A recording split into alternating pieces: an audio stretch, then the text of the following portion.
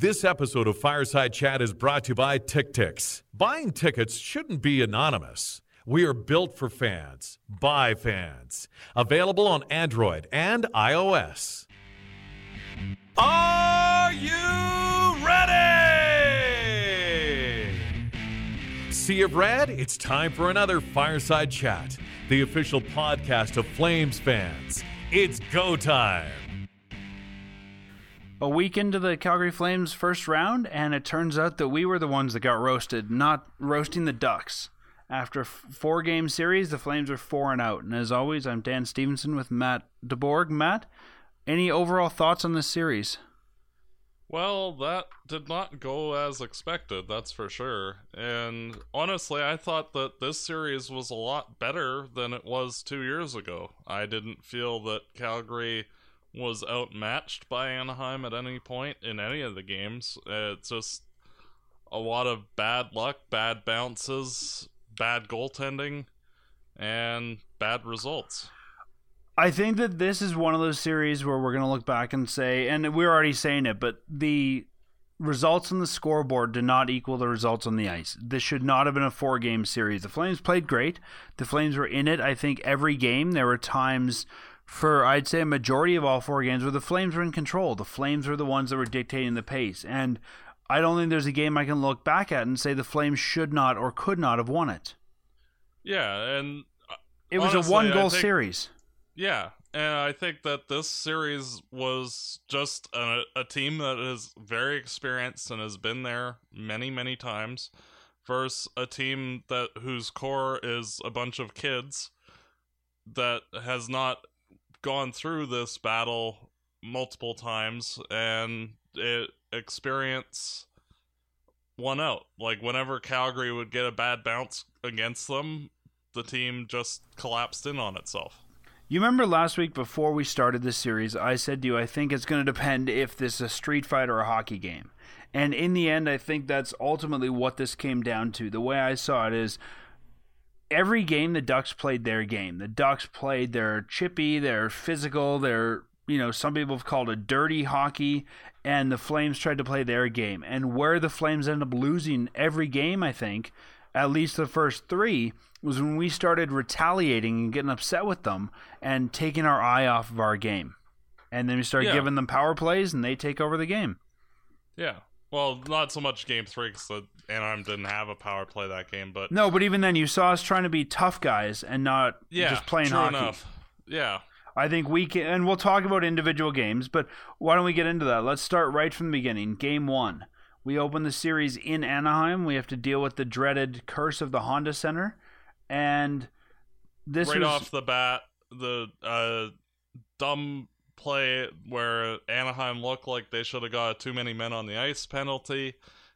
Hamilton gets a little out of position because he was expecting a call, ends up taking a penalty. 52 seconds into the game, 1 nothing Anaheim. And then, you know, Monahan fired back on that one. Um, about halfway through the period, Bennett fired back. It's okay, we've got a 2 1 lead. And then the Flames end up having the Rickard Rakell and Jakob Silfverberg goals early in or late in the second that sort of sealed our fate. And we were never able Yeah. to score in the third. that turnover that led to the 3 on 0 for the Rakell goal that was emblematic of the Honda Center. And for whatever reason, Calgary always in that building does something really stupid. Are you talking about the, the bad line change on the Rakell goal? Yeah, and it, there's always something in each of those games in the Honda Center over the last 11 years where just one stupid decision in the game or one fluky bounce, whatever it is, and like the team just falls apart like, "Oh, we can't win here." And then Anaheim struck a couple minutes after that and the Flames didn't have any gas to come back. The way I look at this, there was three Anaheim goals and three big Calgary mistakes. Both of the power play goals were because of dumb penalties. Yep. The Getzlaf, argue there. the Getzlaf goal at the beginning, we took a dumb penalty. We gave them a man advantage, and they did what they were supposed to. They took advantage of it. The Silfverberg goal, again, dumb penalty. They took advantage of it. The Rakell goal wasn't a power play, but it was a stupid line change. So this is one of those games I wasn't surprised to see them play that way in game one. I thought, okay, they're like you said earlier, young team. They got the jitters. This is a team. They beat themselves. Yeah, they they beat themselves. They made dumb mistakes, but I was hoping they'd sit down and say, okay, how do we fix these mistakes come game two? Yeah. Um, and unfortunately, some interesting stats in this game, though 37% face-off wins for the Flames to 63% Ducks. I mean, you can't win a game if you can't win the draws. no. 14 penalty minutes to, for the Flames versus 10 for the Ducks, as we've seen all year generally. When the Flames take more penalties, they lose. But the Flames out hit the Ducks 33 to 30, which again wasn't really the stat we were expecting there, but the Flames were trying to match a lot of what the Ducks were doing. Yeah, and I know a lot of people think that face-offs are overblown, and They're not. really. It in a lot of situations over the course of a season, it doesn't really matter that much.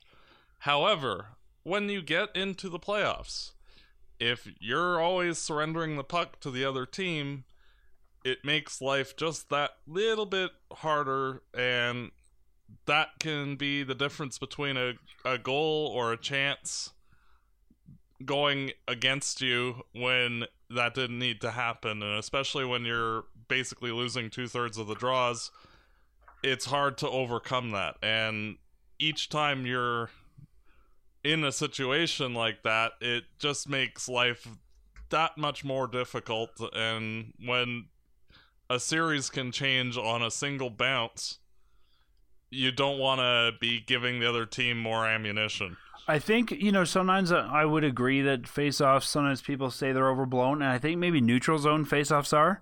But to me, you can't win if you don't have the puck. You can't shoot on the other net if you don't have the puck. So if you can win the face-off, especially in the offensive zone, you get that first couple seconds to decide what you want to do to get off a good blue line shot or something like that.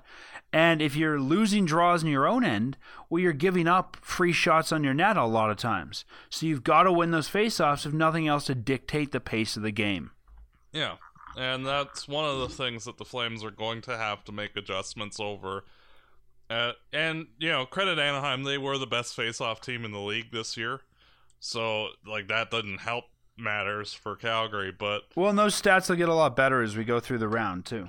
yeah, and like uh, Backlund and Monahan were fairly close. Backlund won slightly more than fifty percent, and Monahan was at forty-seven. Those aren't too bad, but like everybody else was a disaster.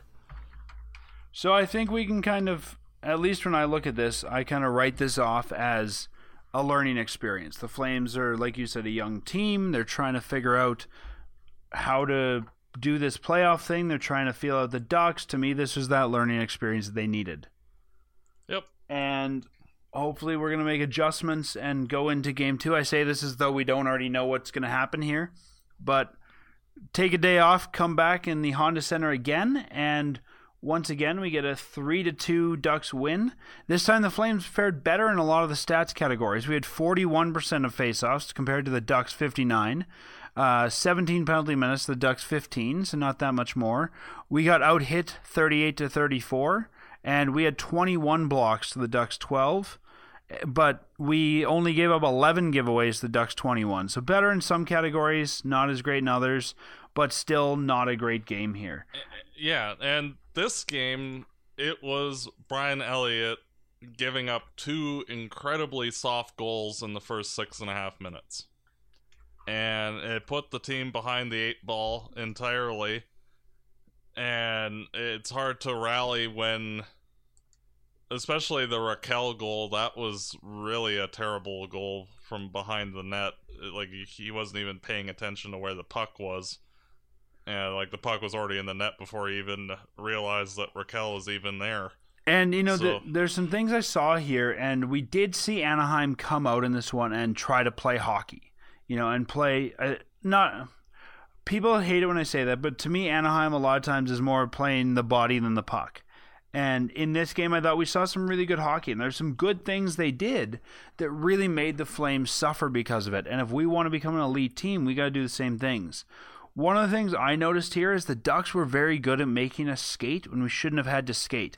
Every time we had a power play, what did they do? They took the puck and they flipped it all the way down the ice. And they were Yep. good at making us waste that time, making us waste those chances. Like you and I talked about earlier, it's about possession. And we might have possessed it, but we weren't going anywhere with the puck once we possessed it. So, you know, they were good at, at wasting that time and making us get tired. Yeah, and like credit to the Flames, they did battle back in this game and tied it in the second period. And then just like the first game, a ridiculously dumb penalty late in the third period gives Anaheim a free chance and there's the game. And it, yeah, it was a weird goal where Getzlaf tried to pass it across and it hit Bouma from like 50 feet out and fluttered into the net, but you can't have penalties like either Hamilton's or Brodie's in a playoff game, period. Well, and just a lack of discipline and overall hockey sense. Like you just can't do those things. Especially And against a team like the Ducks, No. who every time you go on the power play, they have the ability to make you pay for it. Yeah, it's not like you're playing Vancouver where, oh, gee, I took a penalty. Big deal. We can kill this off. No big deal. You know, they do have a good team, and you just can't do that. And again, that's inexperience. Uh, like Dougie Hamilton's penalty in the first game that led to the first goal, and the penalty in the second game that led to the game winner those were just inexperience. And that's part of the frustrating thing with this team is that they're very young, most of their players that are the key players in the team. And they're going to make mistakes. And hopefully they learn from it. Like Hamilton in games 3 and 4 was significantly better than he was in the first two games. But that's it's an education and unfortunately it being a four game series it would have been better if there was just more games to give them more of an opportunity to learn some lessons but Yeah, it's it's a team that is a team that is not used to playoff hockey playing against a team that lives for playoff hockey. I mean, if the Ducks didn't make the playoffs, you know, someone would lose their job. oh easily or if they even lo- say they lost in five games to calgary honestly i think the general manager and possibly the coach would have got fired Like this is almost a team that looks at the at the regular season as an 82 game preseason. All they care about is the 16 wins they need to get the cup. Yeah, and they're in contender mode. Their best players, Getzlaf and Perry, they're the key guys for a team that's trying to win the Stanley Cup, and they're I think 31 or 32 right now. So like they they're not far away from having to enter rebuild mode themselves. So like this is one of their last shots at winning the cup, so they have to be good. Couple more notes on this game. I thought um, it's worth noting that this is Mikael Backlund's first uh, postseason goal, the one that he got shorthanded in this game. Uh, no, it wasn't. Uh, he had the game winner in game three against. Oh, Anaheim. sorry, my bad. His first shorthanded uh, postseason goal. So, um, yeah, it's you know, and good to see him contributing. That you know, I thought one of the the things that we didn't see enough of this postseason was the three M line. I thought they weren't as dominant as they have been. And it's tough when you're playing the same team four times in a row. But it was nice to see that from Backlund. Um, Also, the Monahan goal here, I had to kind of laugh because we we know that the Gaudreau slashing on the hands thing has been an issue all season. And in this case, Gaudreau got slashed in the hands. They went away, and it was just sort of Monahan getting vengeance for that finally. You know, because Gaudreau got slashed in the hands, we got the PP, and we took advantage of it. So I had to kind of laugh at that. It's like, you know what? It serves them right for trying the same old trick.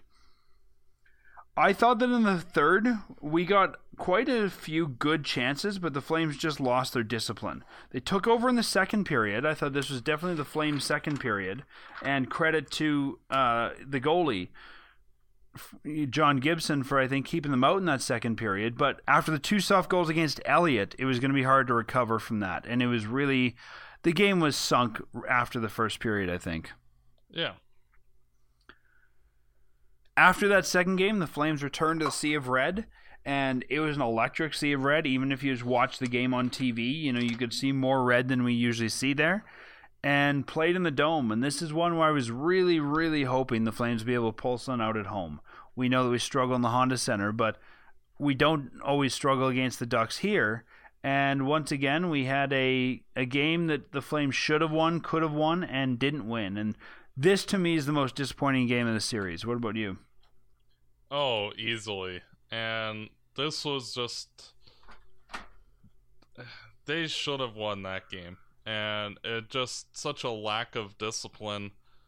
And again, terrible goaltending allowed Anaheim to recover and win this game. I mean, Like, by mid- absolutely no way the Flames should have lost this game after going up four one. Well, that's it. Midway in the second period, we're up four to one. My old hockey coach, when I played hockey, used to say one goal you got nothing, two goals you got insurance, three goals you've probably won that game. And it's tough to see a four to one lead slip away and become a five four final score. So to me, this was the heartbreaking series or a game of this series. I thought that first goal from Monahan was really nice. I was glad to see that Brouwer got the assist on it. Um, you know, Brouwer was supposed to be our playoff warrior, and I thought, okay, maybe he's coming alive here with this uh, playoff assist. Didn't really happen. Um, the second Well, goal, I have to argue with that. He did quite an effective job screening the goaltender throughout the series on the power play, and I think that but for what I'm the paying the guy, why- anybody can do that. eh, If I'm the GM, I'd be saying, you know what, I'm not sure this guy's worth, you know, four million plus just to be able to screen that goalie. That's a lot of money. oh, I know, but he was contributing, is what I'm saying. Like he was contributing, but I, but I don't think like he necessarily pulled his weight. the goals that the Flames scored on the power play were caused in part because of his excellent screens. So, you know, it, yeah, like ideally he'd be playing better, but at least during the four games in the series, he was one of the Flames' top three players, in my opinion.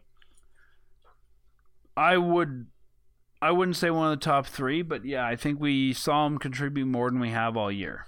At top four, I would actually put Monahan, Versteeg, and Bennett ahead of him, and then Brouwer. Well, let's talk about Versteeg. Versteeg got the second goal of this game, and I thought, you know what, that's what you need if you're going to score against the Ducks. We had lots of traffic in front of the net, and Versteeg was able to just pop that one home, and you know that's what you've got to do to score on on these goalies. Is both both goalies that are playing for the Ducks is you've just got to you know pound have lots of traffic in front and pound it in.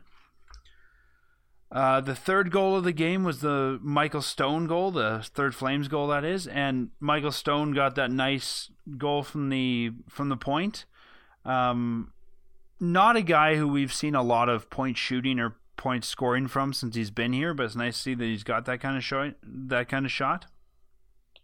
Oh yeah, and I think that if the Flames re-sign him, he'll be a good number four moving forward. I, I think if you look at this game, the Flames ended up dictating the pace. At least of the first, you know, period and a half, maybe two periods. The Flames were really the ones that made the Ducks play our game and adapt to our game.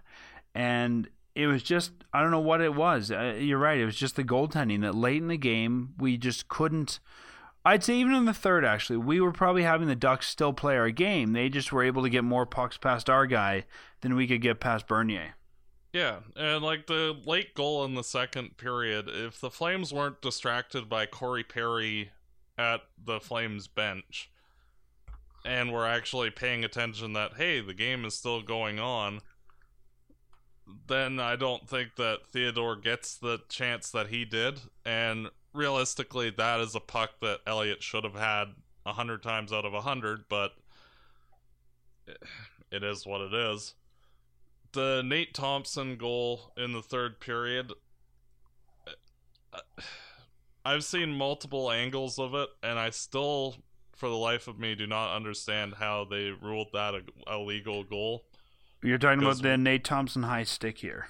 Yeah, I still don't understand that because there was the one angle that showed where it hit on the stick, and like if you just draw a line, like it was his where it hit on his stick was pretty much in line with his nose on his face. So I don't understand how that counted, but Well, and, and not, only, not only the fact it counted, but I think the fact that now we're going to have some Flames fans who think the league is out to get us, you know, after 04 and this. And I'm already and the hearing. Bennett thing lot two years ago. Yeah, I'm already and- hearing from people that the league's out to get the Flames. They'll never win the cup. There's some sort of conspiracy, and I don't know about you, Matt. I'm not. I'm just not buying it.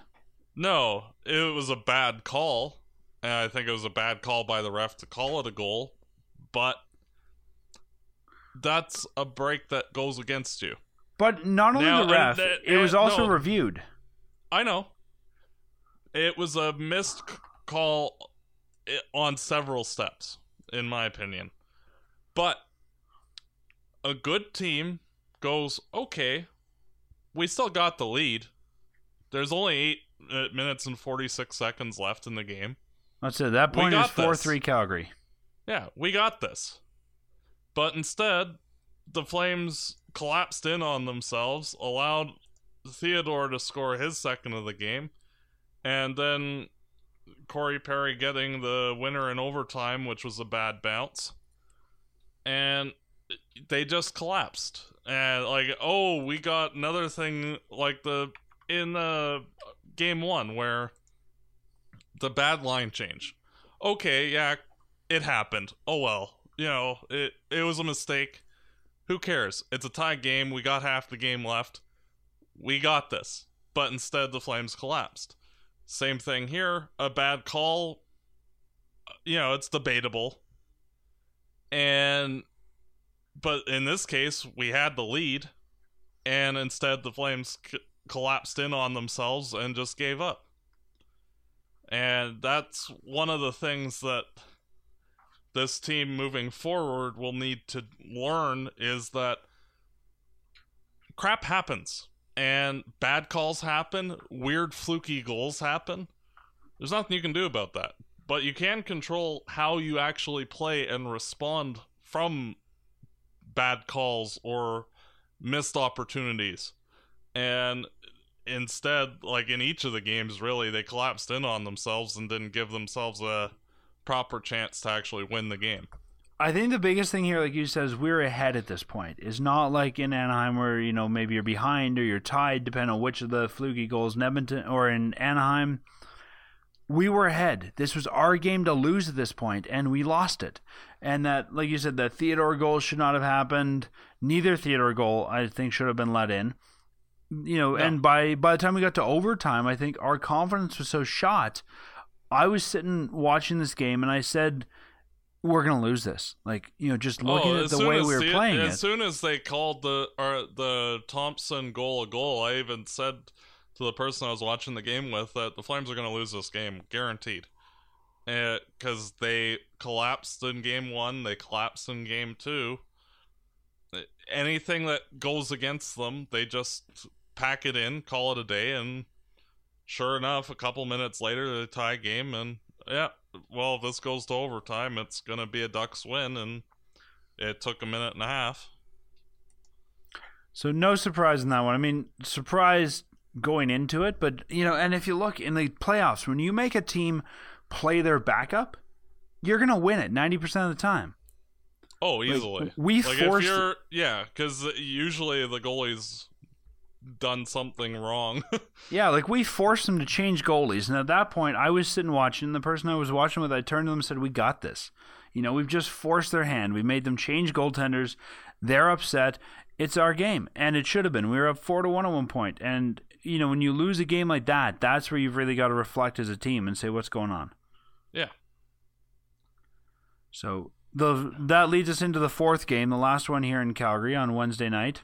And again, we all know how this one turned out. It was a two to one Ducks win, or sorry, three to one Ducks win with the empty netter. Um, Calgary got more shots on goal, thirty-seven to twenty-five. Calgary outplayed the Ducks in the faceoff circle, winning fifty-eight percent of the draws. The Ducks forty-two. The Flames were one for three on the power play. We had less penalty minutes for once and far more hits, 28 to 15. And going into this game, I mean, just looking at the way the Flames played, you could kind of tell that they knew they were done. Oh yeah. I don't think either they team. beat themselves in the first three games, so it's hard to come back from that. Like when you've literally given away three game, the first three games of a series, where arguably you're the better team in each of the games. It it's hard to. Eh, You're more eh, waiting for okay, what's the bad thing that's going to happen now? And it took five minutes and thirty eight seconds for the bad thing to happen. The Patrick Eaves goal, another soft goal Elliott should have been able to save. Like as a starting goaltender of a playoff team, those aren't the kind of goals you should be letting in. Actually, I'm going to go further. An NHL goaltender should not have let that in. What if you were an Oilers logo? Even then, I'd expect more. Ooh, them be fighting words, man. Not Yeah. even good enough to be on the oil. Honestly, Elliott played himself out of a contract with Calgary in these four games. Like you just you simply can't have a goaltender like that in your organization. Well, let's let's get to that after we're done with this game. That'll be Yeah. our next topic. But um, I thought in this first period, it felt like it should have been seven nothing Ducks. Like I just thought the Ducks came on hard. You could tell they were ready to end this series, and it just seemed like they took the right after that Eaves goal. The they just took the gas right out of the Flames game. Yep. I thought- they scored another one right after a minute and a bit later, and I thought in, just yeah. I thought coming well- into the second, the Flames started to fire back. Though I thought they played a pretty complete twenty minutes. Yeah, I do. I agree with you there. But and then- they finally did get a goal. they got the goal. They worked hard for that Monahan goal, but then again, late in the period, they started taking some penalties. They took, you know, two penalties late, I think, which you can't be doing. No, and And especially against this Ducks team, they we know from three other games they will make us pay when we sit in the box. yeah, and all the credit in the world to Gibson for having a bounce back game in Game Four. Honestly, with the Flames' chances that they had, the Flames should have probably won this game if not for him. I was honestly surprised Gibson started. I thought, you know what, they got this in the bag. They're going to reward Bernier. Yeah, well, they're probably wanting to make sure that Gibson is, you know, like if he had another bad game, it, then it's three one Anaheim going back to the Honda Center. So who cares? You know, like then you just put uh, Bernier in for Game Five, and you just run with Bernier until you're uh, in the next round or you're done. So, you know, I, And of note as well, Brian Elliott, probably the earliest I've seen a goalie ever get pulled, faced three shots, gave up one of the three, and immediately got pulled for Chad Johnson. And I thought that of the two goalies, Johnson, might, Johnson, I was thinking, well, why didn't we do this earlier? Like he looked composed, he looked ready to go, and I think he made this game so that it was not much higher of a score. He, I wouldn't say stood on his head, but he just looked like the better of the two goalies. Yeah, and you gotta remember that the Flames don't have either of these goalies under contract for next season. And they were wanting to see, uh, especially with Elliott, is this guy a player that you keep? And that's why I firmly believe that they gave him game four, because after game two and three, where he pretty much lost cost the game us for the the. Flames in each of those games, that okay, we're giving you one last chance to redeem yourself and see if you can earn a contract with us. And you give up a goal like that in the first five minutes, yeah, that's enough of you. It's pretty much take your pads off, never come back. Thanks for coming out. Yeah, You're done for the game. Go clean out your stall. pretty much. Yeah, Uh, and um, couple other guys they were trying out here for those that didn't realize it. Bouma staged and sat out this game, and instead Curtis Lazar and Freddie Hamilton drew into the lineup, which, you know, it's really a fourth line change. It didn't mean a whole lot in the end, but I thought that Lazar, as we've seen every game he played, he played 7 minutes 16 seconds. He had a good 17 minutes 16 seconds. Yeah, I agree. Freddie Hamilton They were 640. noticeable in a positive way. Yeah, I mean they did- they didn't save the game, but they're not going to save the game. I mean, you know, the day that Freddie Hamilton saves us a series, you know, something's wrong Something's with the rest gone of this. a little weird. Yeah. Although Nate Thompson for the Ducks did end up doing a lot to end the Flame season, so you know it can happen. It's just unusual when it does. I want to give the Ducks credit in this one for late in the third. The Flames had their goalie out of the net for an extended period. They were getting a lot of good shots on there. I was, I don't want to say convinced, but I was pretty sure the Flames were going to end up tying this one up uh, on a few of those shots. And good for the Ducks to shut the Flames down and keep pucks out, keep that puck out of their net you know, you were starting to see the Ducks, I thought, let up about that point. You know, we, we saw the timeout. We saw the Ducks start to sort of let up. They knew they had this one in the bag, and then the Flames fired back with a bit of offense. And it was like, yeah, okay, this is silly. This is enough here. And eventually they ended up getting the empty net goal. Yep. So and you know, it's not not all doom and gloom. Like, yeah, the Flames largely beat themselves in this series.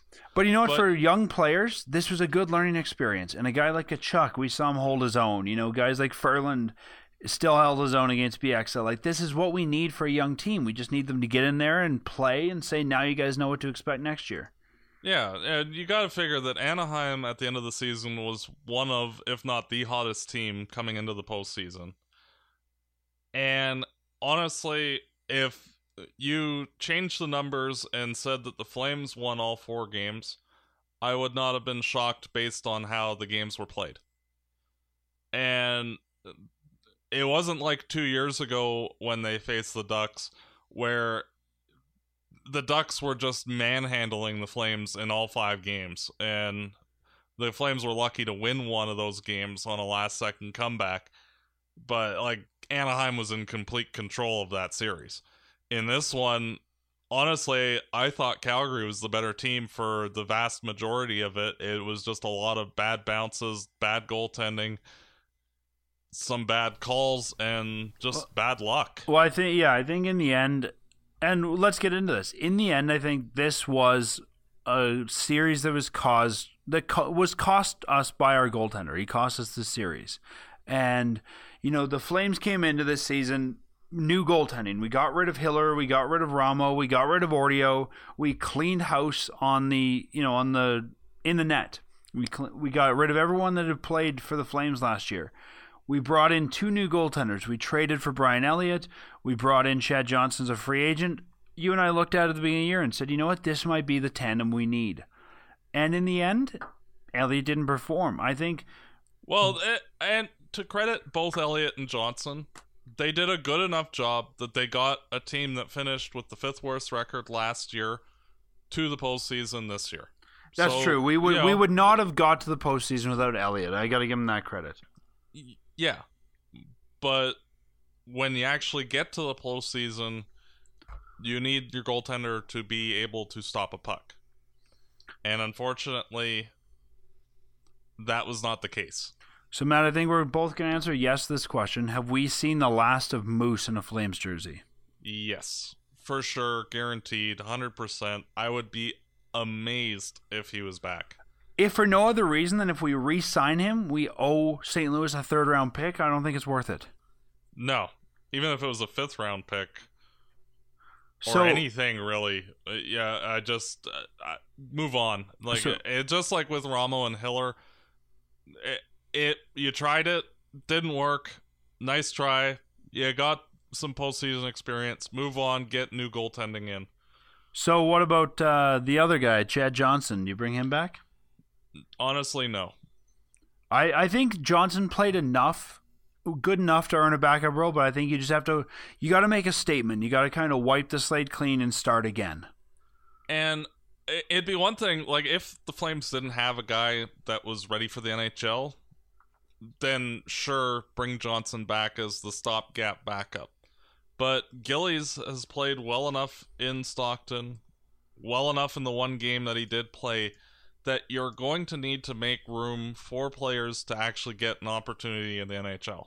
And especially with Tyler Parsons being ready for the AHL next year, he Gillies has to go somewhere and uh, it in terms of development for him and for Parsons, you need to make a spot available, and Gillies has to play in the NHL next season because you can't just keep everybody in Stockton forever. Like you need to actually promote, see what they've got. If they're good enough, you keep them. If they're not, you go on to the next guy. And In this is honestly something we haven't been good at doing as an organization. You know, if you look as long as I can remember, I mean, it's always been UFA goalies, UFA goalies, UFA goalies. Who was the last guy that we promoted that did anything? Probably McElhinney, as bad as that is. Like he's still in the NHL. Well, but like Kidder, like who was the last guy who had any impact? Was it Trevor Kidd that we promoted? Yeah, and it, before that, Vernon. Like it's You know, two we have- yeah, like, we- last, we had like two McElhinney, guys in the last Moss, thirty years. All yeah. sorts of these, you know, throwaway goalies. Yeah, two guys in the last thirty years. and it's not something we've been good at. And I don't want to say that Gillies is the next Kiprusoff, the next Vernon. Um, No, but you have to see, and you can't uh, figure out what Gillies is or what Parsons is unless you actually give them a shot. And that's part of the problem that the Flames have had, especially even not just in net, but with guys like having Stajan and Bouma in there. It you're not allowing guys like say Jankowski or Lazar. Kylington or Andersson or Lazar to get a shot when they're showing well enough where like you have to give them an actual chance in the NHL to see what you have. Like you, and I think that's where I think that's where that line between rebuild and playoff starts to get blurred too. You know, if we were a rebuilding team, if there's no way we were going to make the playoffs, you'd say, yeah, you know, maybe we bring, maybe we would have had Gillies up this year. And I think that's where you've, as a GM, it's hard to sometimes walk that line between, okay, do I give the young kid a chance or do I try to win now? And I think that's like Calgary has gotten to the point where they're a good enough team that they will get to the postseason even if they have kids that are having a hard time in the depth roles. I think we have enough veterans that the kids don't have to be looked at as those, you know, big roles. We've got our top six established. We've got enough vets in the bottom six that yeah, you can bring one or two kids in, and if they flounder, Yeah, like someone will pick up the pieces. Say like next year, say the Flames sign Stone and you have your top four of Gio, Hamilton, Brodie, and Stone. Why not have Kylington and Andersson as your five six? You're gonna save money, one, which is a big one, especially if you're gonna try and get a, a legitimate first line right winger. See, I don't like rookies with goaltender. rookies on the blue line. I I want know, there to be. I know. I'd bring- I understand that, but i- if at the deadline, like those guys are floundering, like it, then you can go out and get like a veteran guy, like a Johnny Oduya or whatever. But if you're not giving guys opportunities, like you could even put say Stone with Kylington and Andersson with Brodie for, you know, to not have guys isolated, but if the Flames aren't giving the rookies a shot, then we won't know what we have. And especially when you've got guys like Hickey that he's ready for the Stockton after this season upcoming. Like it, you're we're going to need to see what the guys that are currently there have and if you're not giving them a shot, then we're kind of stuck. I have no problem with Oliver Kylington and Rasmus Andersson both being called up, but again, I would also bring in an Oduya or some veteran and assume it's going to be one kid in the vet on the third pairing and either rotate him out or play till you, you know, don't look good or something like that. But I just I don't like the idea of both of the kids together as the third pair. I know. It's just that the Flames need to. like, we've been great. We've at- been great at on the on the forward side. I mean, look at our top six. They're all guys we promoted. You know, you got Monahan, you've got Gaudreau, you've got uh, Tkachuk, you've got Bennett, you've got Ferland, you've got all these guys that were sort of drafted by us and uh, homegrown, if you will. But yeah, the blue line and the net, especially. I mean, the last big net prospect we had was Ortio, who I think got overripe and we got rid of him. Before that was Irving, and where's Leland Irving these days? We've got to bring Gillies up. Yeah, and that, especially with the cap itself, like we're starting to get into that phase where like we're going to be a cap team and we're going to need to have guys on entry level deals playing. Thankfully, Calgary has enough of a prospect base where you can have like four or five guys throughout your lineup that are on the entry level deals, like Jankowski, the defenseman, Gillies, so that way you can go out and spend money on a top line right winger. Well, and even look at the Ducks. I think four of their six defensemen are on entry level contracts. Yeah, and like that, you just have to look at Anaheim, and like there's no real difference between, say, Brandon Montour or Kylington or Theodore and Andersson. Like uh, there's marginal differences, but they're all basically the same caliber of prospect. So, uh, did Anaheim suffer by having those guys in the lineup? No. So, like, yeah, if say Kylington and Andersson have struggles throughout the year, well, a they're learning at the NHL level, which that's helpful, and b if necessary, you can go out and get somebody at the deadline. But like, I don't see spending like say four million dollars or three million dollars on a third pairing defenseman just because we're scared of playing some kids. Like eh, the the Flames core of their team is mostly young players, and for Calgary to take those next steps into being a cup contender, they're gonna need to have more youth in their lineup. So let's get back to the goaltending for a second. So I think we can both agree. Let's let's pen Gillies in as a backup. I don't think Gillies is good enough yet to win a starter job for a playoff ready team. Would you agree? No. Uh, 30 games for him, 50 for the starter, I think is fair. So now we got to find ourselves a starting goaltender, Matt. So I think this year the most likely way they'll go, just because I don't want to give up a lot of, I don't think we have a lot of asset to give up right now, is UFA. That's entirely feasible. It also depends because of the expansion draft. Like under normal circumstances, that's true. You wouldn't be able to pick up some of the backups that might be available, but because of the expansion draft, teams might be sort of like getting Michael Stone for a third round pick. Like uh, I under normal circumstances that wouldn't have been the case. But well, let let's talk about some of these goalies that are out there. Let's look at the UFA class this year first. Um, I think, and you you and I were kind of on the same wavelength here. The most likely UFA targets would be Scott Darling, Jonathan Bernier, Ryan Miller, Ben Bishop, Steve Mason. If you wanted to bring back Elliott or Johnson and Jonas Enroth. Right away, I'm going to take Ben Bishop off the list. I don't want to pay what Bishop's going to get as a UFA this year. No, I think he's he's by far the best in the class and honestly, I think he's the most overrated, and I don't think that he's. I think he's on a downward trend in his career. Yeah, but he's gonna get like an eight for eight deal. I honestly, yeah, I wouldn't pay more than five million for Bishop. Oh, I wouldn't either. But I think somebody's gonna overpay. Somebody who thinks that you know he can solve their problems now.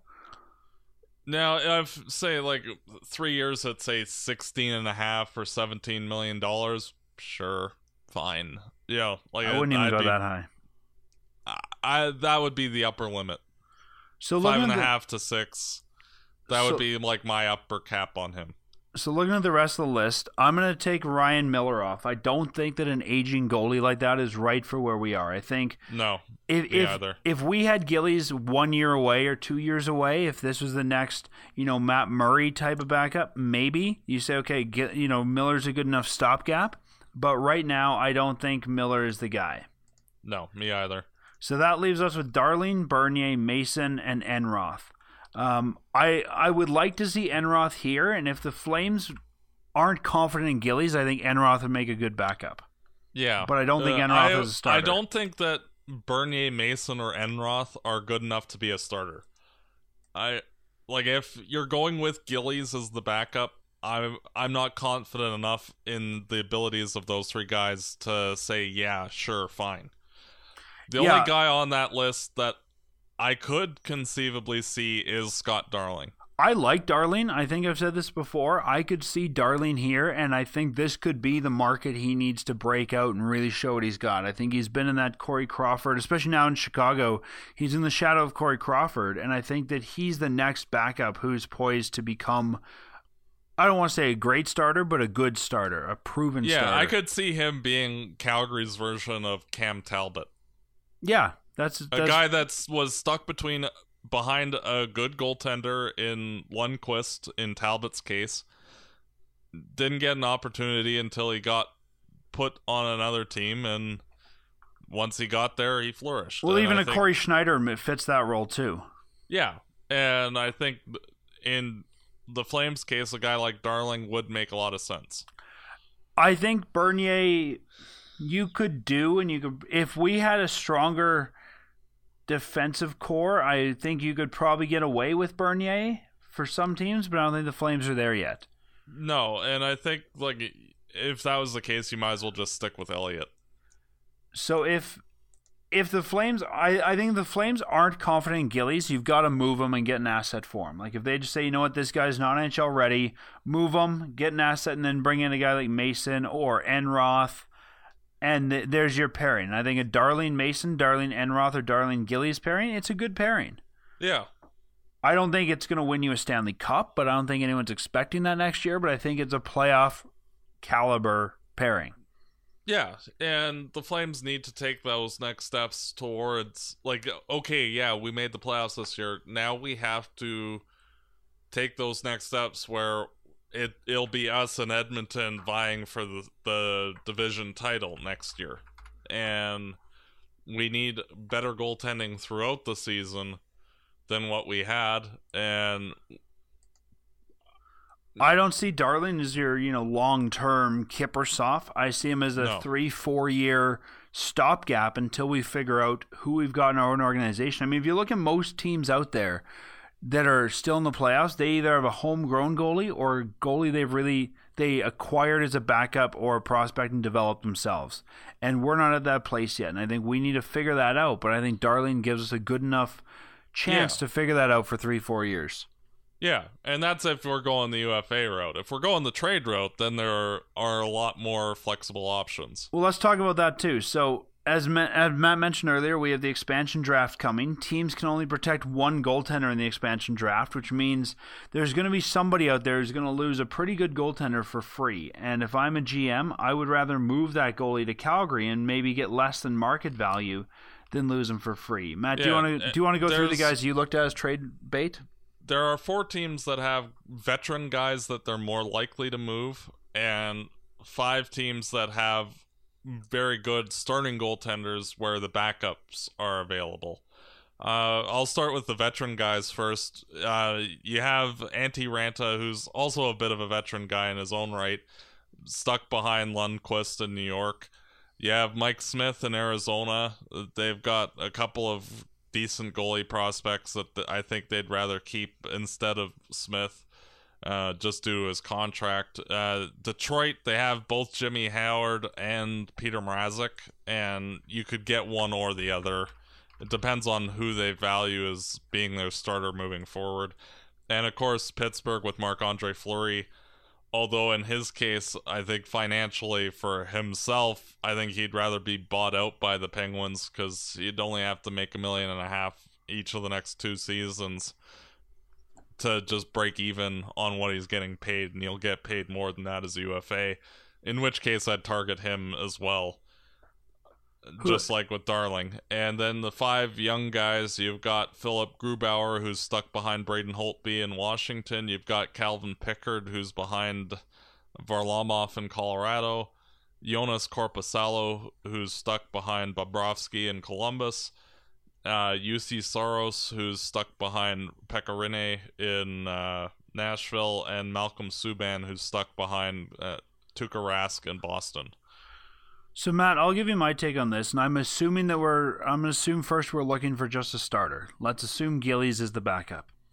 I don't think Grubauer, Pickard, Korpisalo, uh, Saros are ready for stepping in right away. I think those are the kind of guys you need two, three years to really get up to what would be a consistent playoff level. I don't want to touch Mike Smith in that contract with, you know, a long stick. I want to stay as far away as we can. I think Howard is past his prime. I said this at the beginning of the year, and a lot of people chastised me for it. I still think, as a stopgap starter, Marc Andre Fleury is the best bet. Uh, uh, if he, he- I'm assuming that he gets bought out by the Penguins, personally. So uh, just because it financially it doesn't make sense for him to accept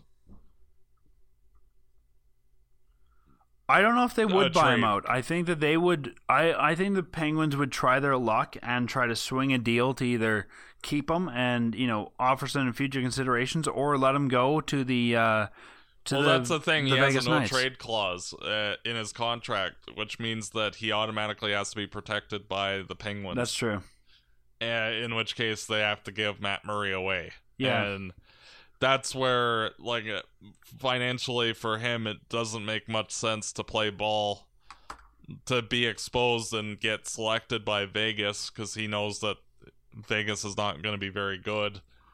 So, like, you know what I mean? Like, it, that's where, like, if I'm him, like, I'd rather pick my destination via Yeah. being a UFA than doing any favors for Pittsburgh. Going into this season, I was I had said I thought that Antti Raanta would make a good flame. You probably remember me saying that. I yeah, said, you know what, the and flame, I agree.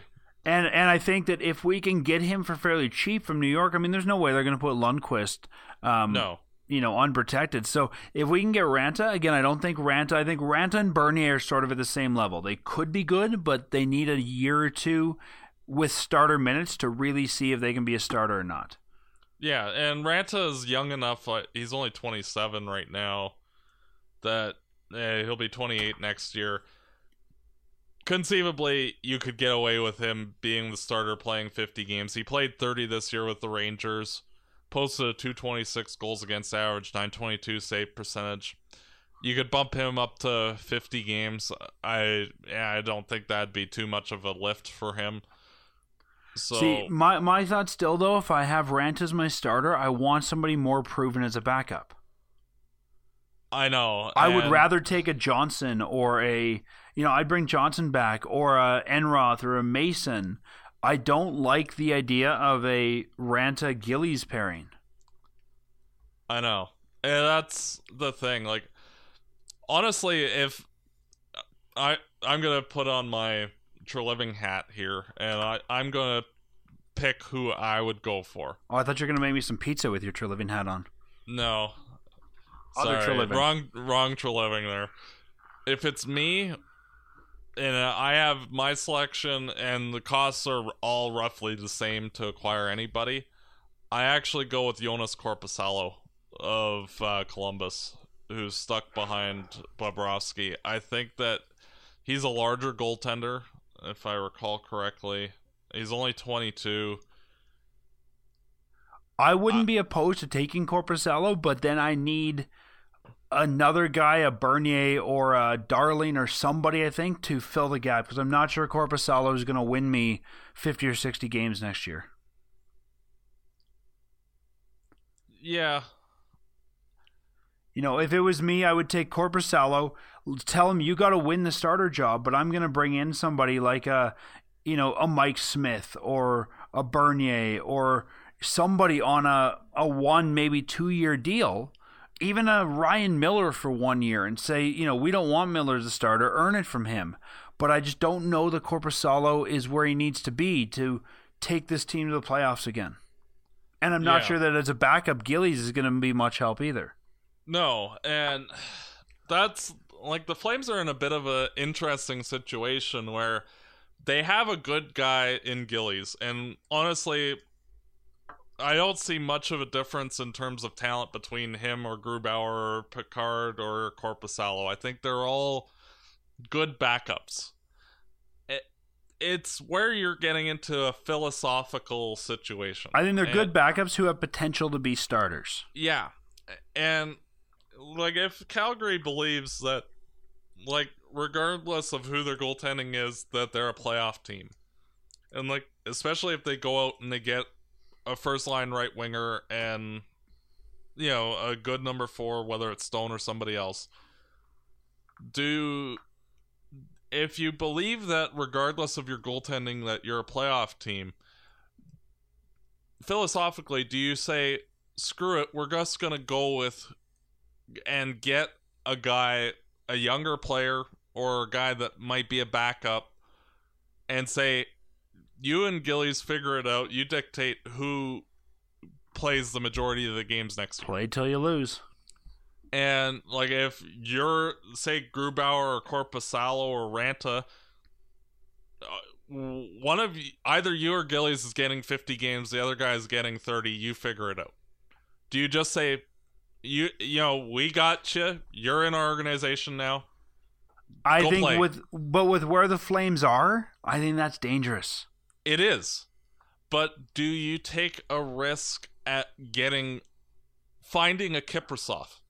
And are you that's willing? where the flame that's where the Flames are right now is they need a Kiprusoff level see- goaltender or a Vernon or But see, somebody the, the thing we're missing there is with Kiprusoff, we had Turek. We had that seasoned vet. He wasn't necessarily the best, but we knew, okay, I mean, Kiprusoff, remember, was brought in to be a backup.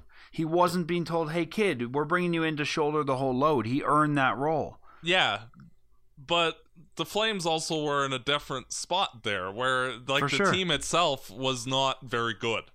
And we're one of the few teams that's figured everything out and not the goaltending. Usually, if you look at a rebuild, they sort of figure out the goaltending Yeah. first. And, Like we have three lines right now that are good enough, and like especially if they get go out and get a first line right winger, like the top nine is set. The fourth line you can either keep Stajan and Bouma or get some of the kids in. Either way, it'll be good enough. The top four, good enough. So like it, it you know, like there's no real weakness in the, the top end of the lineup. Whereas like in 04, it was basically a Ginla, Regehr, and a bunch of misfits, basically, and Kipper coming out of nowhere. Eh, Like uh, the Flames weren't expected to be a playoff team that year, and like now, it's a weird situation where like we need a goaltender that's an elite goaltender and we don't have anybody that stepped into those shoes. So do you just take a risk having Gillies and another kid from one of these teams and just throw them in there and say, "Hey, we got a good enough team with everybody else that we should be in the playoffs regardless. Have fun. It, you know, it's you and Gillies fight it out. Whoever's the better guy gets the spot. Just like Andersen and Gilly uh, and Gibson in Anaheim. But I'm more confident ago. doing that with an Anaheim team than I am with Calgary's current team. Yeah, true enough. But I think Calgary's gotten to the point where they're good enough where Are you willing to sacrifice a playoff year for that? Sure. I am because the Flames need to take the next step and be a contending team. And if they don't have a good goaltender, it you just look at this season. They had a good enough team to make the playoffs. Bad goaltending cost them the playoffs. Looking at this list, sorry, go ahead. Yeah, I, I I think that they've gotten enough from the other 18 players where like eh, unless the the goaltenders become so abysmally bad where it's like uh you guys aren't even ECHL caliber they should make the playoffs. Like as long as the two goalies are NHL caliber, they don't have to be good. The Flames will make the postseason because I don't think that Gilly or uh, Elliott or Johnson played well enough this year to consider them above average goaltenders. They were just average this year. So as long as whomever the, the two goalies are, as long as they're average, the Flames should be a playoff team. It's just figuring out and testing and seeing like who will emerge as being those elite who is the starter who is the backup and i think if we already got one guy in the tank with gillies who should realistically play about 30 games why not try another guy who has experience of that 30 game level and see like so uh, of, those guys, then Raanta and Darling are the two that I would be most comfortable with. so would i but they're also the oldest guys Uh, yeah, but but I mean they're mean, both 20 uh Raanta's 27 28 Darling's twenty eight. But Yeah. you know that's when goalies start to peak. I mean these aren't these aren't forwards where you're 19, 20 and playing in the league. no and i agree When was last Yeah, time we saw a twenty year old playing sixty games? True.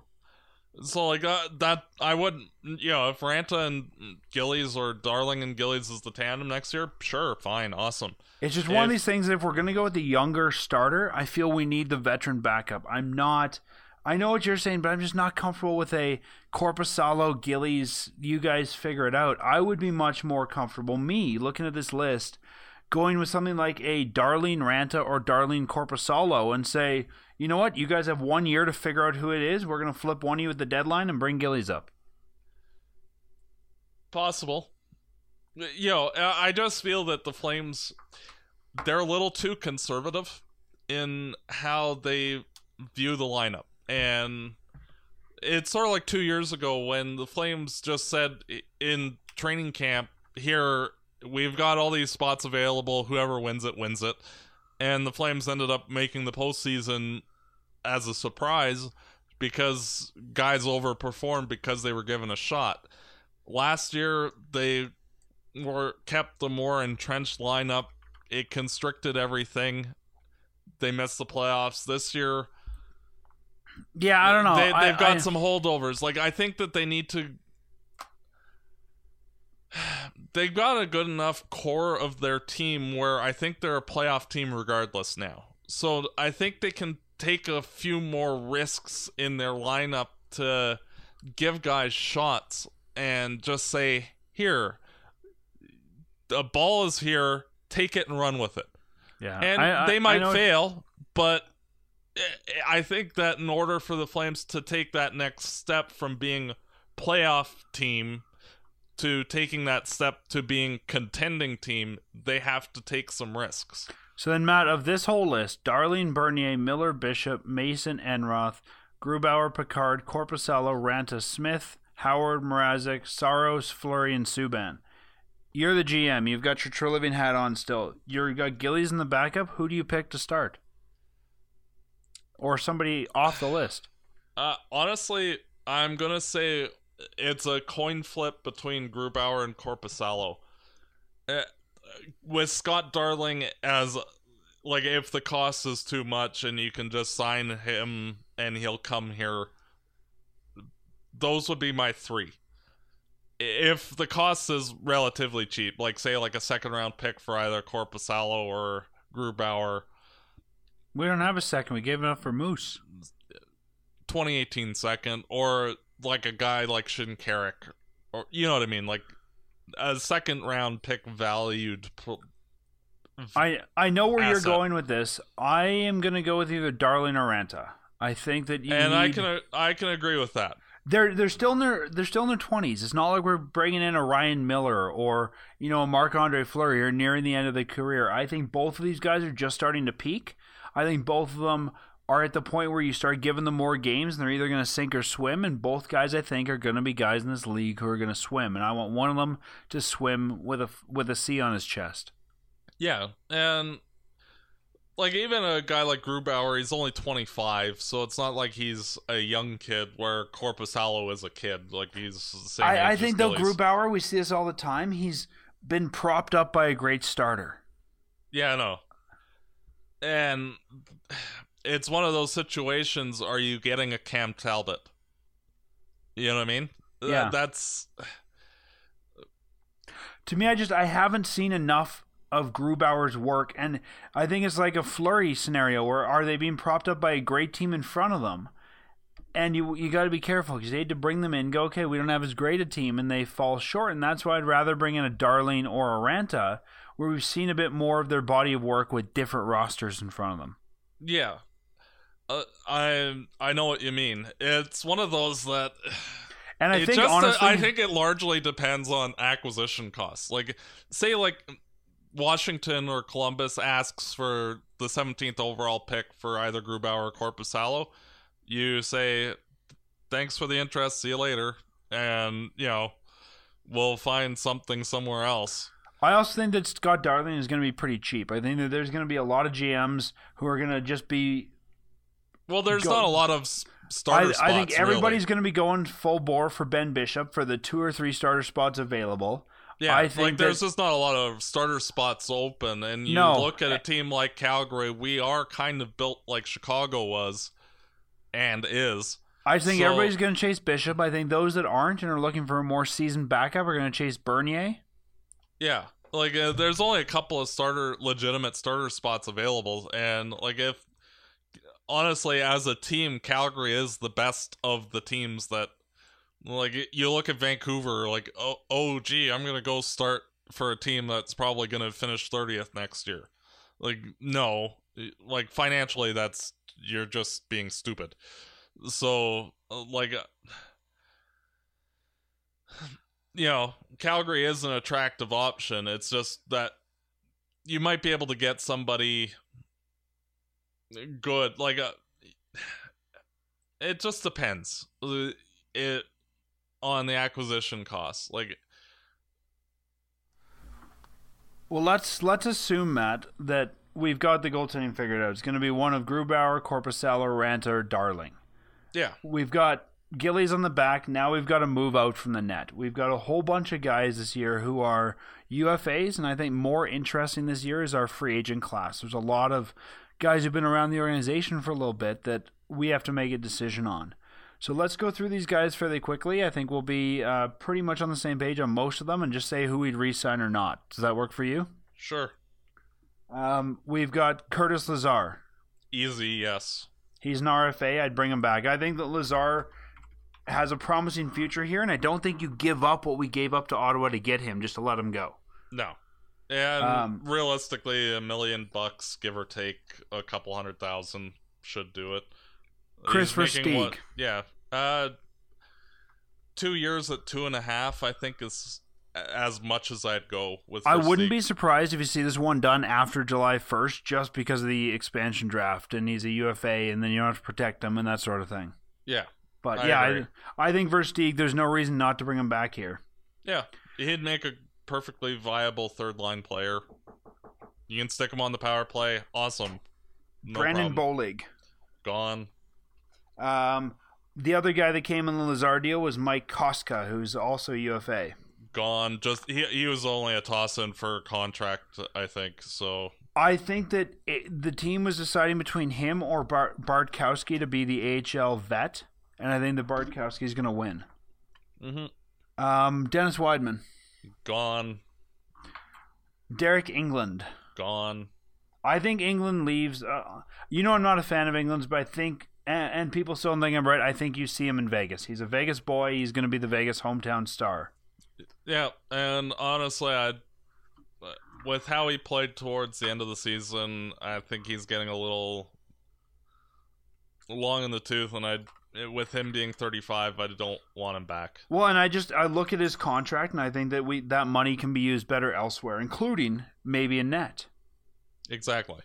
Um, and I think the next guy on the list who could easily replace him with the play style is Mike Stone. Yeah, and easily re-sign him. I think we'll both agree that Stone should come back. I think we'll both agree Johnson and Elliott are done. Yep, sure. Gone. Next, next one on the list is your boy, Garnet Hathaway. Should be in the NHL starting game one. I think that the I think Hathaway gets signed, and I think that his making the roster really depends on Bouma being moved out. I think honestly, he's the cheaper Bouma. Uh, yeah, honestly, I see Bouma getting bought out. Well, we'll talk about that, but I yeah. think Hathaway and Bouma. I think Hathaway is the the cheaper Bouma. Yeah, and I don't think Hathaway can make the team till Bouma's gone. Yeah, and I think that's why buyout time. But that we'll get there. Michael Ferland, who's a UFA or an RFA, sorry. Yeah, the easy resign. Alex Chiasson. If he's cheap enough, sure. Like, uh, uh what was his contract last year? Uh, See, to me, I think Chiasson has lost thousand. Uh, eight hundred thousand. If you get him for say nine hundred thousand or a million bucks, fine. But Matt, well, you've been talking about bringing the young guys in. To me, Chiasson has lost his job to Lazar. I think Lazar is a better version of what Chiasson. I think Lazar is a better version of what Chiasson should be, and I'd rather get rid of Chiasson and bring a guy up from the farm. Chiasson, I'd keep it. It depends largely on the expansion draft. If Las Vegas takes Brouwer, Chiasson gets retained. Okay. And you know what I mean? And if uh, Brouwer is a flame, then I'd kind of let Chiasson go. Yeah, if Chiasson comes back, I'd do a one year. I think this is a very transitional player for this team. Yeah, I agree. Uh, Sam Bennett. This is going to be the big contract to watch. Is what kind of money Bennett can squeeze out of the Flames. Honestly, I would say a two-year, at like two and a half, would make sense. Yeah, I mean, if you look around the team, and I think it's great that he's on this team right now with comparables. So, I mean, you know, looking at comparables on the team, Lance Bouma's making 2.2. Bad deal for Bouma. I think that'd be about Oh, good I'm, money. I'm harkening back to like Backlund's contracts and like Yeah. his second contract. Backlund's making in the two and a 3.5 right now. Yeah, like Backlund was in the two two and a half range, like after his first entry level deal. So, you know, I think you're going to see one of these things where the Flames will be pushing for two. Uh, Bennett's people will be pushing for three. I think we'll probably settle 2.5 and do a bridge deal. yeah, two two and a half, give or take. And that's reasonable. We're still figuring out what we got in back in Bennett. Yeah. Exactly. like he only had 26 points this year. Give him a bridge deal, 2 years, see how he does. If he performs well enough where he's a 5 million dollar player 2 years from now, awesome. If not, then you look at either keeping him at the similar rate or moving him out. And I think there's still going to be value there in two years. Yep. The next list is a bunch of guys, many of them have been around the organization for a while, but these are all the Stockton Heat names. So, uh, Brett Kulak, guy we saw have a couple. Fine as a number 7. See, and- I'm going to disagree there. I think if you bring up Kylington and Andersson, you need to bring a veteran up there to complete the seven. Yeah. Uh, yeah, if yeah. Uh, Like if you're not going to bring one of Sh- if you're going to bring one of one of Kylington and Andersson, not the other up, maybe bring Kulak up. But I'm not comfortable doing a Giordano. Um, I'm not comfortable having the defense of just Giordano, Hamilton, Brodie, Stone, Wide or um, Andersson and Kylington. You need to put another vet in there, and Kulak's not that guy. I think I think he'll be in the NHL. I just think that he's he just doesn't fit right now with Calgary. And honestly, I would sign him and have him basically take Wotherspoon's spot. as sort of the veteran call up guy. Yeah, I could see that. Yeah. I think he'll clear waivers. Yeah, so do I, because uh, every team has a Kulak. And that's it. Every team needs one. I was going to say he's very expendable, but yeah, I think that that's. And if think- somebody wants him, or if he plays his way onto the team, that's awesome. Like, Yeah. there, there's no.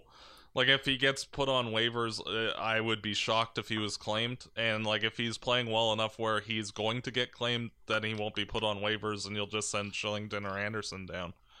And I think, rate. and I think that also gives us your opinion on the next guy, Tyler Wotherspoon. Goodbye. See you later. I think Wotherspoon's going to be an interesting case. I could see Vegas picking this guy up for AHL depth, Yeah. Oh, uh, he, he will play in the AHL next year. but I think I he's one of those guys. A young team like Vegas might say he's good enough to play 10, 20 games. Let's throw him in the A until we need him. Yeah. Um, Linden Vey. Thank you for having a good year in Stockton. If you want to play in Stockton next year, sure. Otherwise, see you later. I think I'd bring Vey back just because he gives us that AHL veteran depth. Yeah. David Rittich, the goaltender. AHL backup looked reasonably well. Not sure what we got there still. If uh, Parsons makes the leap into the AHL next year, then having him splitting time with Rittich like Gillies did, see how each of them responds. Uh, We don't have enough of a playbook on Rittich to see whether or not he's an a- NHL goaltender yet. I hate it when you have two blue chip goalies splitting time in the A. I think Rittich is probably going to be a career AHL guy. I see him a lot like uh, I don't know. We've there's a number of those guys out there that have sort of been AHLs. They come up as a backup once in a while and they go back down. Um, you know, M- Mar- a Jan Denis sort of guy, and yeah, I just I can see that. Like he'd fill in in a pinch in the NHL. I just don't. And I can see a weak team saying, you know what, he's good enough. Let's bring him up as a backup for a season, that sort of thing. But yeah, I just I think just haven't seen enough of him. Like, okay, he had a great year in Stockton. the way I look that. at it though is what who else are you going to bring in that role? Like Rittich is a good AHL backup. Re-sign the man, give him another year. It's not like we're looking around going, we have to have this guy instead. No, and honestly, I'd rather have Mason McDonald being in the ECHL playing Yeah. most of the games. Mason he needs needs another to year play. in the. Yeah, he needs to play through his struggles, and he, he's still a good prospect, Mc, Mason McDonald. He had a bad year. I think I'd bring but- Rittich in for one more year and then see what we've got with McDonald. And if the team says, you know what, this guy's AHL backup material, then great. But I Rittich is a good stopover for one year. Agree wholeheartedly. Um, the next guy is a guy you were high on when the Flames signed him, and that is Kenney Morrison. Looked good. Played great first for the run. first bit, and then vanished and has not been the same player since. This is See this is the Bryce Van Brabant of the blue line. Yep, gone. And- is the next one on the list, and he's gone. You've always said that him and Kulak were the same guys, so pick Yeah. the pick the one that works better and get rid of the other one. Yep, I agree. And Culkin, unfortunately, a lot of injury troubles. He still could make the NHL. You know, I think won't with just with his injury troubles, I think this is a guy who's destined for an ECHL career, and that's where you see a lot of these guys who, you know, just run into injury problems. They're good enough to play, but no one wants to give them the contract, especially with the fifty contract limits now. Yeah, I could see or that. you see him play in a league overseas. Like, I think he's good enough to play pro hockey. I just don't know if he's good enough to play on an NHL contract. Yep. And last one, and I think we'll both agree, yes, is Jon Gillies. Obviously, I, I'm penciling him already as the backup next year. So So overall, keeping most of these guys, everyone on the pro team stays except for Wideman and Engelland, um, which you know I think Wideman is a, yeah. is a given, and the goalies.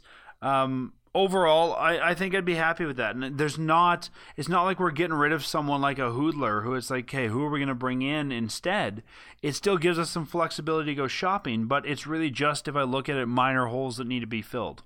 Yeah, like realistically, this team needs a first line winger. If you bring Versteeg back, that fills that spot in the third line fairly adequately.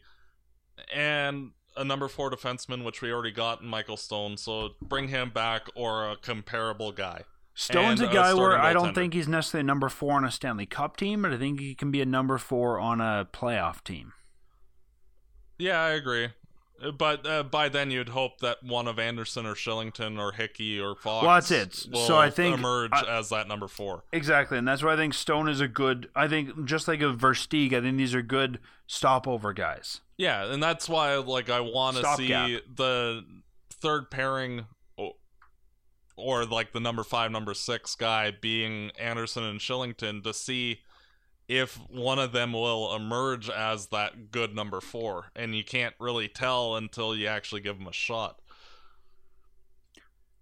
Yeah, no, that's definitely true. And in order for a lot of those guys, I mean, the defense is where we're going to have the most holes to bring up young guys. But there's some names like, and you've talked about some of them, Jankowski, um, Hathaway, guys who the Flames might want to look at on for, on the forward side, and we don't have a lot of spots. So, Matt, you posed this question, and we also got this from a fan of ours. Uh, Steve Doherty asked this Should the Flames buy out Stajan and Bouma? To do so, Stajan would cost 1.8 million next season and 666 the year after, saving 1.3 million a year. You compared this to you think Jankowski would be who they'd bring up if they did? Yeah, well, it would make sense because Jankowski was one of the elite players in the AHL this year. He needs time in the NHL. He's a good face-off guy. Fourth line makes sense. And the other guy is Lance Bouma. Bouma would cost us 667 or 0.667 million next year and 767 the year after that. We'd save 1.5 million. Hathaway is going to be cheap. I mean, what's the league minimum these days? 550,000? Well, even if it's say seven hundred thousand, like six seven hundred thousand, who cares? Like it's uh gonna be saving almost a million dollars. So Matt, if you do you still have your Treliving hat on? Yes. Okay. You're Treliving, you've got your hat on, you're not making us pizza, but you're making Flames decisions. Uh Stajan, do you buy him out? If Stajan and Bo- this is under the assumption that Troy Brouwer gets claimed in the expansion draft. So we don't do this until after Hunter the awards. Shinkaruk. Yeah, or Hunter Okay. Shinkaruk, one of the two. And Stajan and Bouma are still on the team because there is a chance that uh, Matt Stajan does get selected by Vegas. So if Stajan and Bouma are on the team post expansion draft, both of them bought out. What if only one of them's around? What if Stajan gets taken? Do you buy a Bouma? Buy out the other. Okay. So you just think these guys are done? Do whatever it takes to get rid of honestly- 'em. For me, honestly, we need to get younger, and which doesn't make a lot of sense because we're not really an old team, but we need to get rid of players that are just okay. And Stajan and Bouma are okay. They're NHL players. They're fine. You throw them on your fourth line, awesome. They'll do a good job. But the Flames cannot be content with just being a playoff team. They need to take those next steps. And Calgary won't do that if they're stuck with too many okay players. You can be fine if you got Troy Brouwer as being your okay player on the wing. But too many okay players in the lineup, it, you need players that can do unexpected things. And I don't see Stajan or Bouma doing anything unexpected. Stajan's been here for long enough. We would know if he was going to do something unexpected. Yeah. And they're good NHL players. Fine. Awesome. They will get jobs elsewhere. But we have guys like Jankowski, Shinkaruk, Klimchuk, Mangiapane, Hathaway that are Poirier. yeah, that are on the verge of needing. Well, they they need spots in the NHL, and the top nine is more or less fixed right now. And uh, you know, like especially if the Flames go out and get a first line right winger, then you've got a good second line with Tkachuk, Bennett, and Ferland. Well, I think if we get a, a Versteeg. top line winger, it's Chiasson that suffers. Yeah. Then you've got Versteeg uh, with Backlund and Frolik as the third line. So You then, break up the 3M line? Yeah, I think uh, in order for Tkachuk to move forward and Bennett to move forward, they need to be given more of an opportunity together. And I think a second line of Tkachuk, Bennett, and Ferland would maximize that. So then you're left with the fourth line of Bouma, Stajan, and Brouwer. And okay, well, that's great, but where's room for Hathaway, Jankowski, any of these other guys, you need to make room. And if you can't trade them, you need to buy them out. And they only have one year left on the deal. Yeah, it sucks for the year after that we'd be on the hook for like $1.4 million of unnecessary cap hit, but we'd be replacing them with guys on entry level deals. So it's not that big of a deal. Remember, we're already paying out Mason Raymond next year. Yeah. So And are, are we on the hook for, uh, what's his name? Grossman? How does that work? I have no idea. So I, I understand where you're coming from on this. I've never liked buying guys out. I mean, I think it's the last resort, and I don't think we're the last resort on these guys yet. We'll talk about it later. I've been saying all season, and you've heard me say it a number of times, everyone that listens to the show, I think there's a good chance Matt Stajan gets taken by Vegas, either in the draft or in a trade.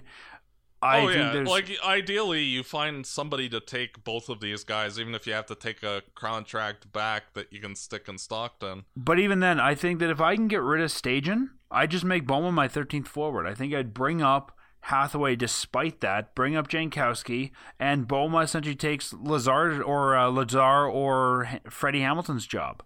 Yeah, I just don't. I don't see Well, that- the GM see, wanting to buy the- out both of them at once. Well, that's the problem is that like we've got too many guys that are in the NHL or NHL ready, and we've got just too many bodies. So somebody's got to go. See, if it was me, I wouldn't bring Chiasson back. I'd put Lazar in his spot. I would keep Bouma around because I think Bouma's a serviceable crash and bang guy as long as his skates aren't too close to the net to put pucks in on our own net. Um, and, you know, as a 13th forward, he's veteran enough that I think he can stay in shape. Freddie Hamilton, I think, has a job here as long as Dougie's here. So, you know, maybe he's an extra forward as well. But I just, I think it's going to be easier to move Stajan to Vegas than it's going to be to find a buyer for Bouma. I think if, if Bouma, if we were going to find a buyer for Bouma, it would have been the deadline. Yeah. It's going to be interesting to see, but I'm hoping that two of the three, or all three of Brouwer, Stajan, and Bouma are off of this team in the offseason. One way or another.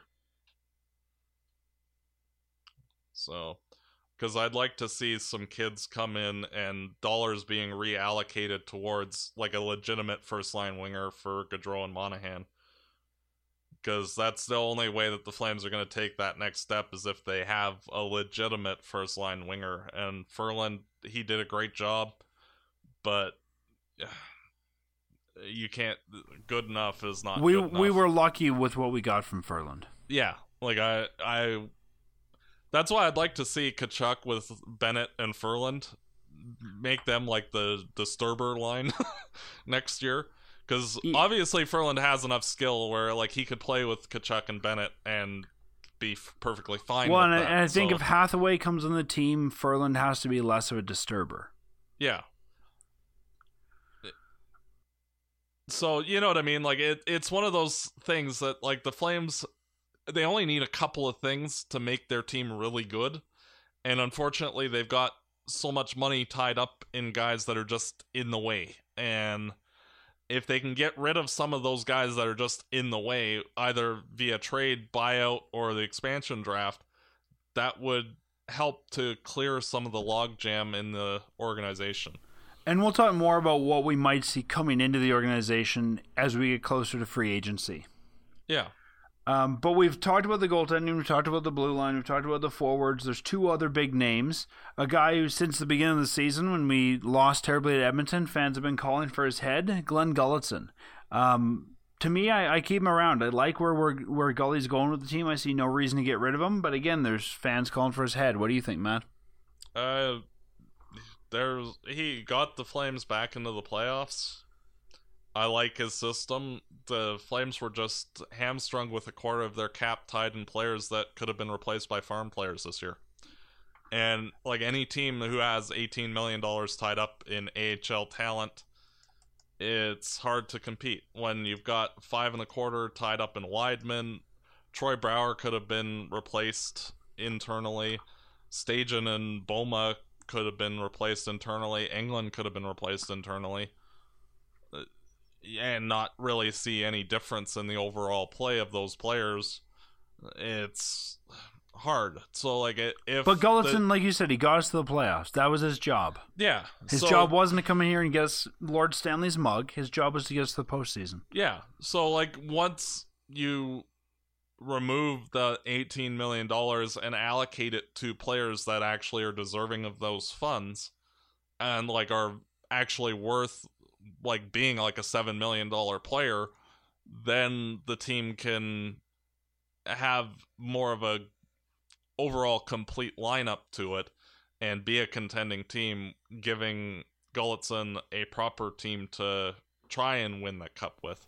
And Gulutzan's boss, whose hat you've had on all show, Brad Treliving, our general manager, his contract is over July 1st. And I've heard some people discussing both ways. Should we bring Tree back? Should we not bring Tree back? And the first thing I ask when somebody says that is, and who do you replace him with? Right now, I think that Treliving, I mean, he's done some fantastic stuff for us. If you look at Dougie Hamilton, you look at, you know, Andersson, uh, Kylington, I'd say that Treliving's done a lot more good than bad, and I see no reason not to bring him back. It's not as though there's a GM I'd rather have who's going to be available. To me, Tree's earned another contract.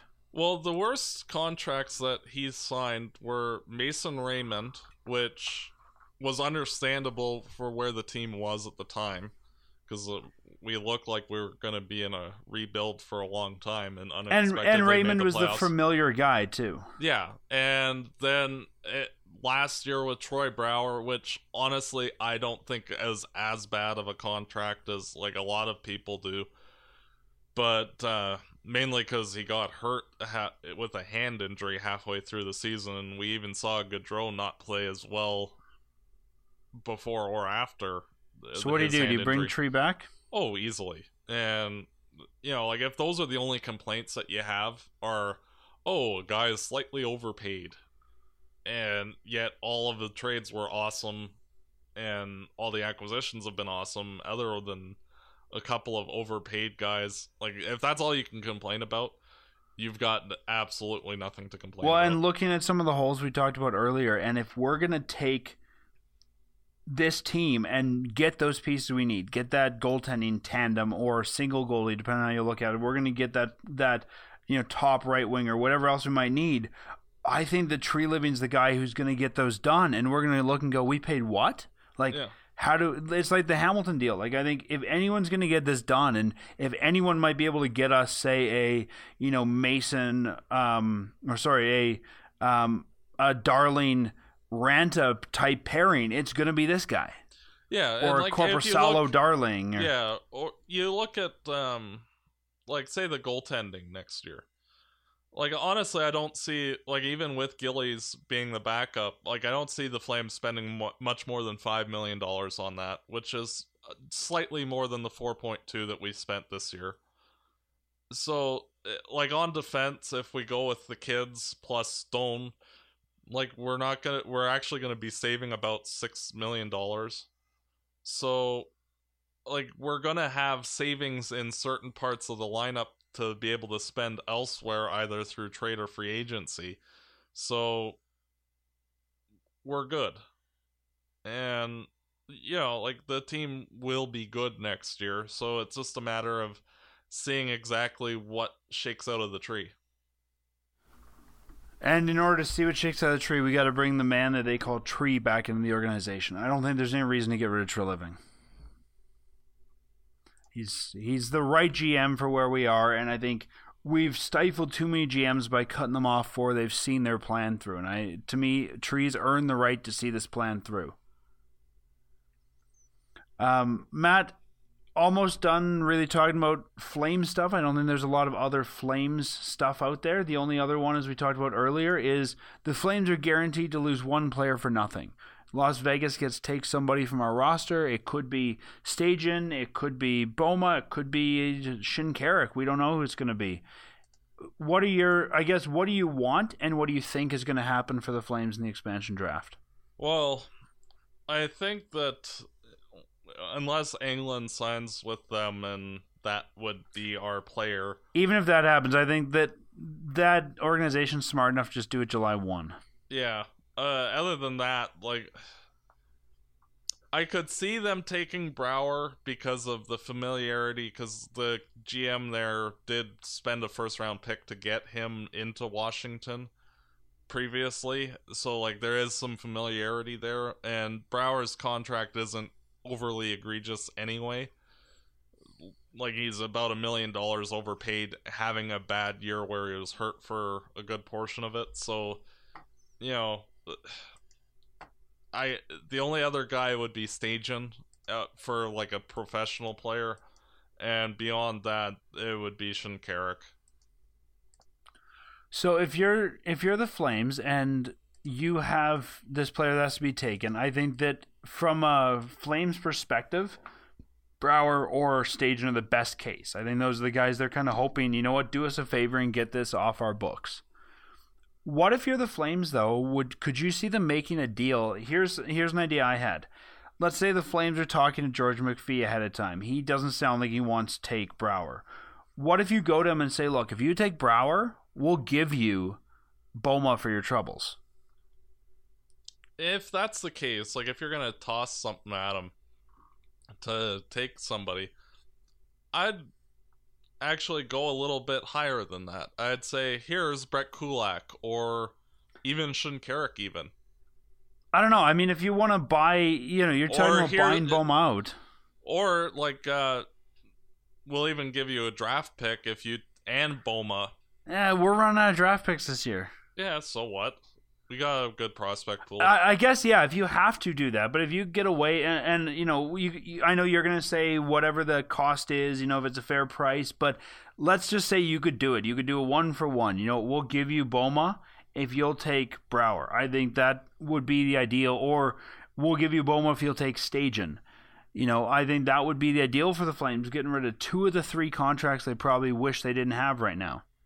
And that you might have to toss another thing in on top of that because Sure. like, you're doing us a favor so here you know we'll give you prospect b or whatever you know Yeah, I, I don't think you get three players moved like that. I think it's either prospect B or Bouma. I would Yeah. be, I can't see us saying that we're we're going to give you Bouma and Kulak for future considerations, Mhm. which is really what it would show up as on the on the sheet. The one thing I can see the Flames doing because we're smart enough to do it is working a deal with with Vegas where maybe we give them um, Bouma and they take a goalie that we want in the expansion draft and then it's Bouma for that goalie or Brouwer for that goalie. Yeah, and I could see that too. You know, we talked to them like here, you say, take hey, Shi say you take Shinkaruk off of us in the expansion draft, and we'll trade you Brouwer for goalie that we like, type of thing, or Yeah. something like that.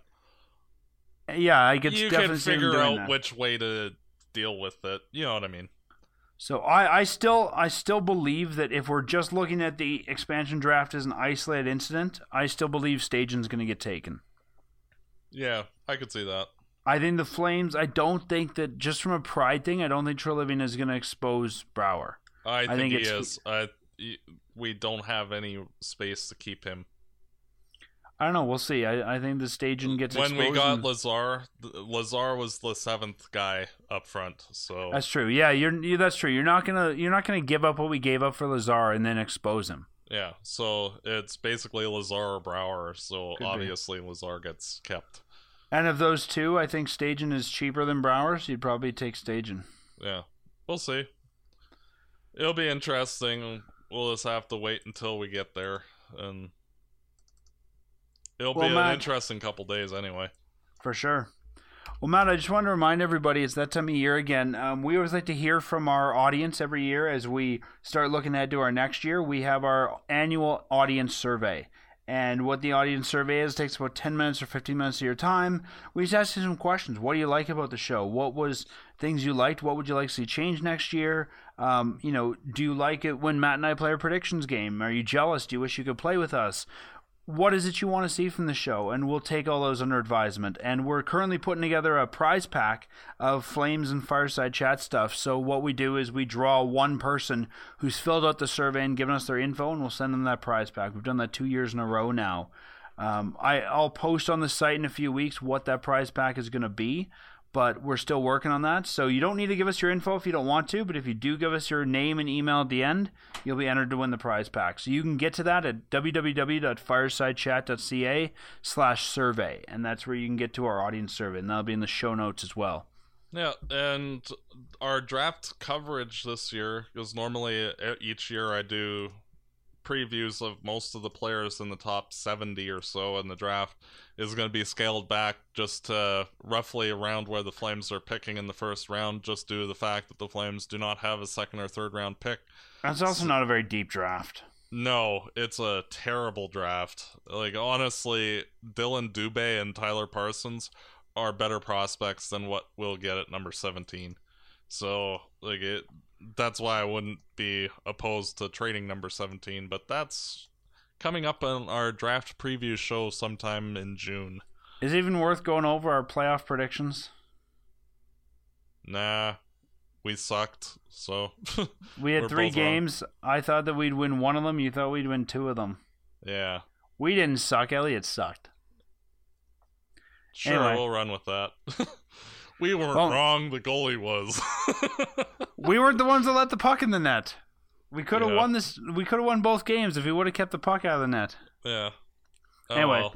it um, happens. Thanks to everyone for joining us this season. Thanks to our friends at TickTix for sponsoring us this year and helping to keep the show on the air. We will continue to do shows as there's news, as we always do. We're shutting it down now, probably for the rest of the playoffs. And check Facebook, check Twitter, check our website for when we're going to ramp back up. Generally, we ramp back Yeah. up about May, and then you know go till the draft, take a week off, and then we do a couple free agent episodes, and then we take the rest of the summer off. Yeah, which we may only do one episode for the draft because usually we do like one episode for round one and like round two and beyond. But because of the lack of draft picks this year, we may just wrap that all into one show. So just check And- firesidechat.ca. Check us out on Facebook at fireside at facebook.com slash fireside chat or on Twitter at fireside podcast, and we'll let you know exactly what we're gonna do there when we have a better idea. Yeah, and again, we'll have news like with the expansion draft and the draft itself and free agency. And Well, that's all the same time. I mean, it's all like the same week. It's award show, expansion draft.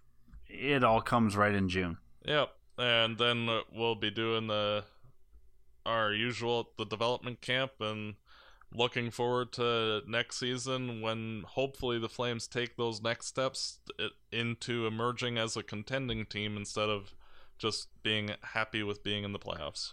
So Matt, now the Flames are out. Who's your uh, who's your team for the rest of the playoffs? Well, the team that I expect to win hasn't changed, and that's the Pittsburgh Penguins. I think they're the team to beat.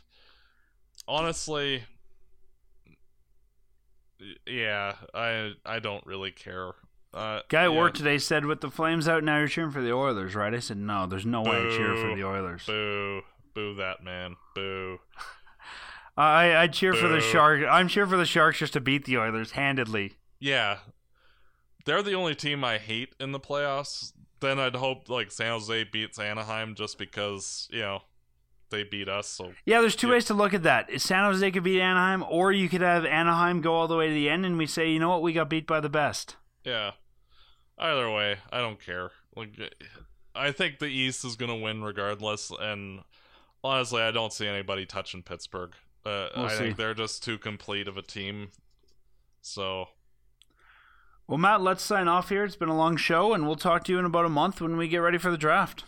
yeah, thanks for listening, everybody. Thanks for a good season, and hopefully next year we have more than four games to talk about in the playoffs. So, but we'll see. And as always, go Flames, go.